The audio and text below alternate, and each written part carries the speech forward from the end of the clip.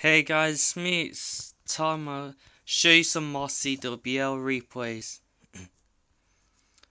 anyway, look at this space. It's Giga, Eagle, and three Infernos on that side. See what happens, shall we?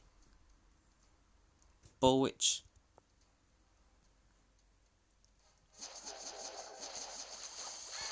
the layout's so open, so witches don't have any.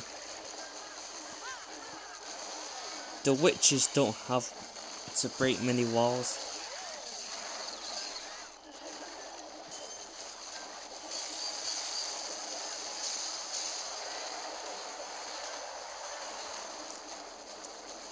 The key threats, the three Infernos, Eagle, and Giga needs to be taken down early.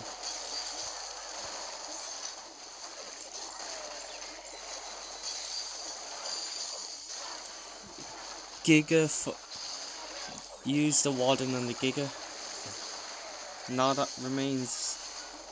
Yep, that Inferno's down. So the major threats are just now the Wizard Tower and the X-Bows. Which shouldn't be too hard.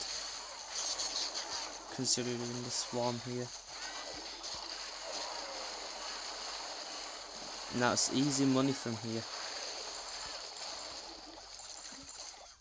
You just have to be able to take out the high threats early, so that's why this was a 3 star.